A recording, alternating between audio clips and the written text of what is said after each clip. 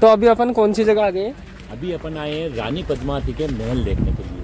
सिर्फ़ गर्मी के चार महीने वाला। गर्मी के चार महीने। इसको बोलते हैं समर पैलेस।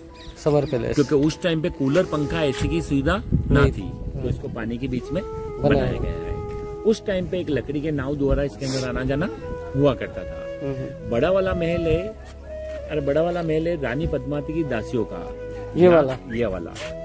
यहाँ का एक पंडित हुआ करता था राघव चेतन नाम का वो काले जादू टोटके वगैरह करता था और रानी पद्मावती पे उसकी गलत निगाह थी तो रावल रतन सिंह ने उनको बहुत बार समझाया कि ये चीज़ें आपको शोभा नहीं देती है हम्म, लेकिन वो उसकी आदतों से बाहर नहीं आया तो उसको भरी सभा में बुलाकर बेइज्जत करके यहाँ से बाहर निकाल दिया था। लेकिन वो जाते जाते बोल के गया था कि मैं तो यहाँ से जा रहा हूँ लेकिन चित्तौड़गढ़ को घुटने के बल पर लेकर आऊँगा। यहाँ से वो नीचे जाता है। यहाँ के जितने भी रास्ते जितने भी लिक पॉइंट थे वो दिल्ली के बादशाह अलाउद्दीन खिलजी को बताता है।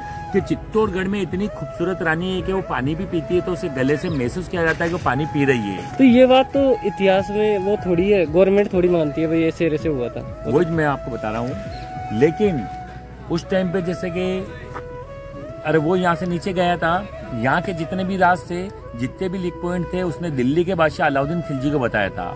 कि चित्तौड़गढ़ में इतनी खूबसूरत रानी है कि वो पानी भी पीती है तो उसे गले से महसूस किया जाता है। एक बार अगर आप उसको चित्तौड़गढ़ से दिल्ली में लेके आ जाएँगे तो हर जगह आपकी विजय प्राप्त होगी ये सुन के अलाउद्दीन खिलजी दिल्ली से चित्तौड़गढ़ तक आता है, किले की बैक साइड से ही जहाँ से भी आप आए हो। वो ये सोच के आता है कि ये किला काफ़ी छोटा है, इस पर आक्रमण करना बहुत आसान है। लेकिन जब वो इस किले की ओर देखता है तो किला ज़मीन से 580 फीट की हाइट पे तो वो देखता है, इस पर अटैक करना इम्पॉसिबल है। यहाँ से वापस वो दिल्ली जाता है दिल्ली से अपनी सारी सेना लेता है और दिल्ली से चित्तौड़गढ़ तक। रास्ते में जितने भी किले आते हैं उनके ऊपर वो आक्रमण करता है उनकी सेना को अपनी ओर मिलाता है। और चित्तौड़गढ़ छह महीने चौदह दिन तक इसके मेन फ्रंट पे डेरा डाल के रखता है। जैसे मैंने बोला उस टाइम पे इधर ऐसे 84 वाटर टैंक थे। पैंसठ से सितर हज़ार लोगों की आबादी किले के ऊपर थी। यानी कि राजा के साथ सारी प्रजा किले के ऊपर रहा करती थी। उस टाइम पे सिर्फ़ इधर खेती होती थी किले के नीचे। तो अलाउद्दीन खिलजी ने छह महीने, चौदह दिन तक इसकी खेती पे कब्जा करके रखा। ऊपर अनाज आना जाना कम हुआ। रावल रतन सिंह ने उनको एक लेटर लिखा कि आप दिल्ली के बादशाह अलाउद्दीन खिलजी, मेरे किले के नीचे आप क्या कर रहे हो? तो अलाउद्दीन खिलजी ने लेटर का जवाब लेटर से दिया कि मैं यहाँ कोई युद्ध लड़ने के लिए नहीं आया हूँ। मैंने रानी पद्मावती की सुंदरता दिल्ली में सुनी कि वो इतनी सुंदर है कि वो पानी भी पीती है तो उसे गले से महसूस किया जाता है कि वो पानी पी रही है। एक बार अगर मैं उसका चेहरा देख लूँगा तो यहाँ से अपनी सारी सेना लेकर दिल्ली लौट जाऊँगा।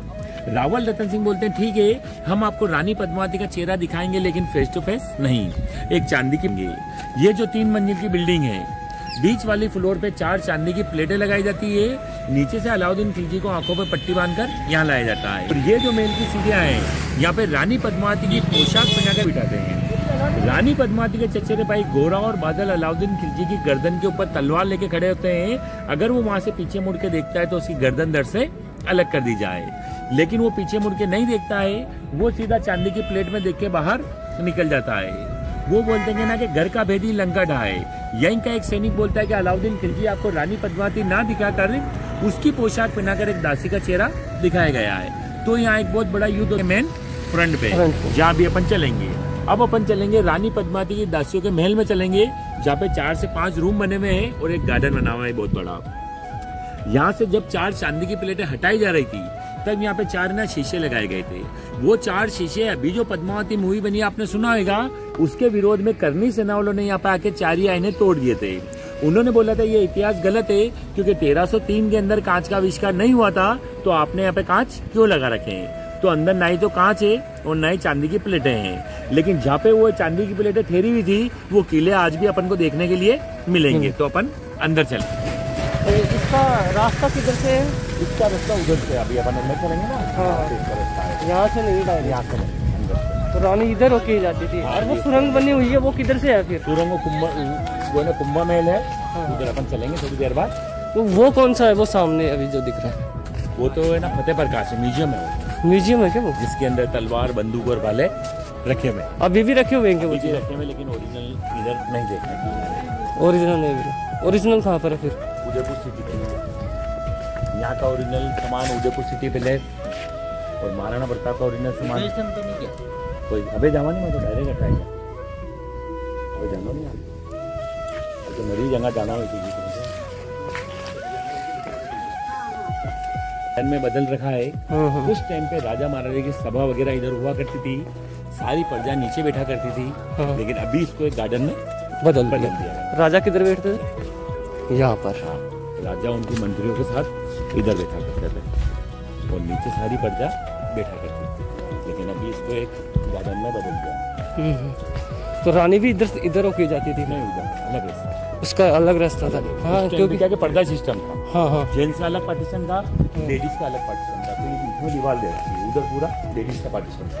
जहाँ भी अपन चलेंगे और ये जेंट्स था। ये जेंट्स का सही है। ये राजा का महल इधर था हाँ? नहीं महल तो वही था बीच में रानी का जो महल बताया था ना हाँ हाँ। वो महल था। और राजा का मेन महल था आगे जिसको कुम्मा महल के नाम से जानते हैं। वो मेन महल आगे है। मेन महल। यहाँ पे तो रानी रहती गर्मी के चार महीने रहती थी। यहाँ तो बाकी आठ महीने अपने हस्बैंड के साथ वाह। रहती थी। ये जो महल है इसको हवा महल के नाम से जानते हैं। हाँ। इसके ऊपर रानी और राजा बैठकर आराम से बातें क्या करते थे? चारों तरफ़ से हवा आती थी। क्योंकि चारों तरफ़ से खुला हवा है। इसलिए इसको हवा महल के नाम से जानते हैं। ये वो रास्ता है जहाँ से रानी पद्मावती लकड़ी के नाव में बैठ के पानी वाले महल में जाती थी हाँ। और वहाँ से लकड़ी के नाव में बैठ के वापस ये इतना ऊँचा पहले से ही था या अभी? पहले से पहले ऐसा का ही था ये सीढ़ियाँ बन रही है। हाँ हाँ। फिर तक सीढ़ियाँ नीचे अभी गवर्नमेंट ने इसको बंद कर बंद कर रखा है। बाकी ये रानी पद्मावती के आने जाने का रास्ता। ये वाला। खिलजी को लाया गया था जो बाहर से था ना तीन महीने में बोलते हैं। हाँ ये वाला। इधर उसकी तो भाई है। वहाँ पर तो भीड़ थी तो हम आगे चल दिए फिर दासियों के रूम देखने के लिए। जो अपन अभी रानी पद्मावती की दासियों के रूम देखेंगे दासियों के रूम थे ये। इधर रानी पद्मावती की दासी के रूम हुआ करते थे। रानी और राजा जब इस ओर से गुजरते थे तो उनकी दासियाँ इसके ऊपर खड़े होकर उन पर फूल बरसाया करती थी। यहाँ से। इसके ऊपर उस टाइम पे छत हुआ करती थी लकड़ी की लेकिन ये काफ़ी टाइम पुराना होने की वजह से छतें टूट चुकी है तो गवर्नमेंट ने इसको दोबारा रिपेयरिंग नहीं कराया। है इनको बोलते हैं जरों के जहाँ पे लेडीज़ लोग एक दूसरे से बैठ के बातें किया करती थी। आपने ना सोलह सिंगार के बारे में तो सुना ही होगा। हाँ। तो रानी पद्मावती का जो सिंगार होता था वो इधर होता था। चार चार करके अलग अलग रूम में सोलह सिंगार होते थे। 16 तो ये उनके रूम थे जो रानी पद्मावती की दासियाँ रहते बीच में एक दीवार दे रखी है इधर पूरा लेडीज़ का पार्टीशन था उधर पूरा जेंट्स का पार्टीशन था। तो ये रानी पद्मावती की दासियों के रूम ये पूरा किला एक वेल मछली के आकार में बना हुआ है। इसके सिर वाले हिस्से पे पूरा गाँव बसा हुआ है। पेट वाले हिस्से पे जितने भी मोनोमेंट्स है और इधर पूंछ वाले हिस्से पे पूरा जंगल एरिया बना हुआ है। तो ये गाँव जो पहला था वो ना विजयस्तंभ टावर के पास में था। लेकिन राजा फतेह सिंह के टाइम पे उसको उधर शिफ्ट करा था। झरोके हुआ करते नहीं? नहीं झरोके तो वो थे कि जिसमें अपन बैठा करते थे। ये हाँ। तो क्या कि खिड़कियाँ वगैरह? हवा आने के लिए खिड़की वगैरह थी। उस टाइम पे क्या कि लोहे की थी। हम्म। अभी तो सब टूट चुकी है। गवर्नमेंट ने इसको दोबारा रिपेयरिंग नहीं करा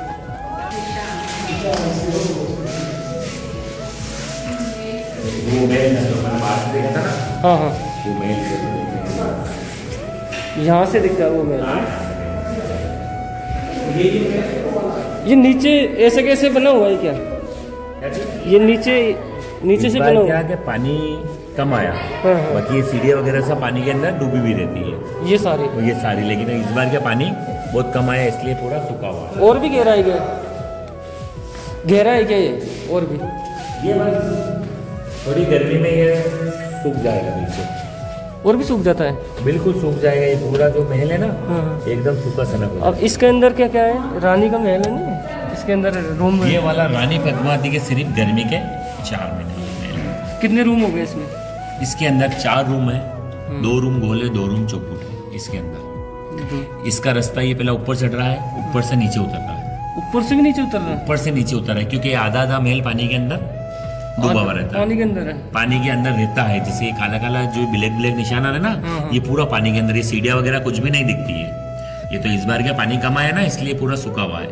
बाकी ये आधा महल पानी के अंदर डूबा हुआ रहता है। ऊपर से दिया गया है नीचे उतरने का। तो फिर इसमें एक चीज़ बताओ मुझे जैसे नीचे सांस कैसे लेते होंगे फिर? नहीं जो ऊपर से खुला हुआ है ना पूरा वो जो सीढ़ी आ रही ना हाँ, हाँ। वो पूरा खुला हुआ है ऊपर से। तो इसलिए उधर से हवा पास होती है। चार चांदी की प्लेटें यहाँ लगेगी थी अलाउद्दीन खिलजी को इससे लगाया था इस प्लेट को 64 डिग्री चौसठ डिग्री नीचे झुकाकर सामने सीढ़ियों का सेंटर मिलाया था हाँ। रानी पद्मावती के चचेरे भाई घोड़ा और बादल अलाउद्दीन खिलजी की गर्दन में यहाँ तलवार लेके खड़े होते हैं। यहाँ से अगर वो पीछे मुड़ के गर्दन दर से अलग कर दी जाए। अगर वो यहाँ से पीछे मुड़ के देख भी लेता तो उसको रानी पद्मावती का चेहरा देखने के लिए नहीं। मिलता यहाँ से जब तक वो तीन कदम आगे नहीं चलेगा जब तक उसको वो अरे उसको क्या नाम उसका चेहरा देखने के लिए नहीं मिलेगा।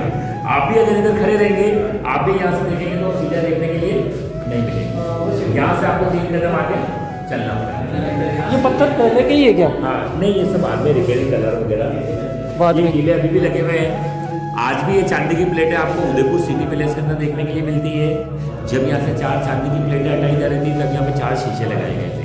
हाँ। अगर आपने गाइड मूवी देखी हो देवानंद की तो यहाँ पे तो है ना दम। अरे ना यहाँ पे तो देवानंद को खड़ा करते हैं और वहाँ पे वहीदा रहमान को वहाँ बिठाते हैं। कौन सी मूवी है?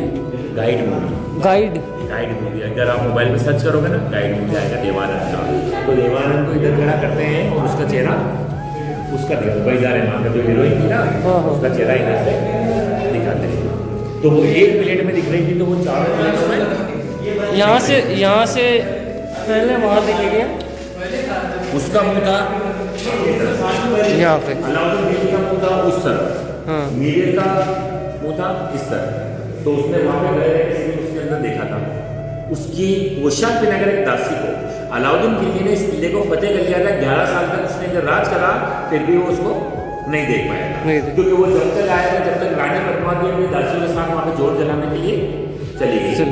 तो इस हिसाब से वो एक प्लेट में दिख रही थी वो चारों प्लेटों में दिख रही थी। उसको कंफ्यूज करने के लिए क्या किया क्या बच्चे अरे क्या नाम आके उसको बिठा किधर रखा? है क्योंकि वो एक प्लेट में दिख रही थी तो वो चारों प्लेटों में दिख रही थी। तो इस हिसाब से यहाँ पे चार चांदी की प्लेटें लगाई गई हैं। ये किला नीचे भी है मतलब में वो अंदर भी है। अंदर है ना? क्योंकि उस टाइम पे ये क्या ठंडा रहता था। ठंडा रहता था। तो आज भी ठंडा रहता है अपन अपन चलते हैं ना अभी तो आज भी ठंडा रहता है लेकिन गवर्नमेंट ने इसको बिल्कुल सील कर रखा है। अब इसमें घेरा कितना है पानी? ये घेरा जैसे कि ये पंद्रह से बीस फीट उधर घेरा है हम्म, हम्म, उस तरफ़ उधर उधर। हाँ। तो ये क्या दीवार को ठंडी रखता है? इधर का पानी पूरा सूख चुका है। सही है। हाँ हाँ। यहाँ पे गर्मियों में आती थी गर्मी चार महीने क्योंकि रानी पद्मावती यहाँ की रहने वाली अरे रानी पद्मावती यहाँ की रहने वाली नहीं थी। वो रहने वाली थी श्रीलंका का एक समुंदर है जिसके बीच में टापू बना हुआ है उसका नाम है सिंगल द्वीप सिंगल दी यहाँ से रावल रतन सिंह वहाँ पे एक मोती लेने के लिए जाते हैं उनकी मुलाकात रानी पद्मावती से होती है तो उनको स्वयंवर में जीत के चित्तौड़ गढ़ लाते हैं और यहाँ की रानी बनाते हैं। बनाते हैं। स्वयंवर में जीत के ये उस टाइम का वॉशरूम हुआ करता था। ये। उस जमाने का वॉशरूम वॉशरूम है हाँ उस का। इधर उस टाइम पे कठपुतली वाले गेम दिखाया करते थे मनोरंजन के। यहाँ पे। कठपुतली वाले गेम। हाँ। रानी यहाँ होके निकलती थी कहाँ जाने के लिए? जिससे कि उसको घूमना होता ना जिससे वो मेल था। वहाँ से होकर इधर से होकर उस मेल में चली जाती थी। वो पालकी के अंदर जाती थी पैदल नहीं जाती थी। पैदल नहीं जाती मेल में तो ऐसे घूमती थी हाँ। जैसे मेल के बाहर निकलती थी तो पालकी। फिर रानी का वज़न नहीं बढ़ता था। यार बेटी बेटी खाएगी तो वज़न तो बढ़ेगा ना कहीं ये ये बात तो सही है। उस टाइम पे देखो इतनी ज़िंदगी थी नहीं क्योंकि राजा लोग क्या आधी ज़िंदगी तो युद्ध के अंदर निकाल देते थे। वो यहाँ से युद्ध करने के लिए देख लो दिल्ली इधर इधर क्या नाम गुजरात पैदल आना जाना होता था। उस टाइम पे गाड़ी घोड़ा तो कुछ था नहीं। तो फिर उसी हिसाब से क्या उनको सालों लग जाते थे आने जाने में। तो रानी भी उनके साथ ही जाती थी? गाड़ी और सबके साथ ही हो जाते थे। हाँ हाँ। एक और उधर होगा ये वाला विजय स्तंभ था वो वाला जैन कीर्ति समय वहाँ चलेंगे तो उससे पहले एक युद्ध का मैदान आएगा वो देखेंगे। हाँ हाँ जहाँ पे युद्ध हुआ था।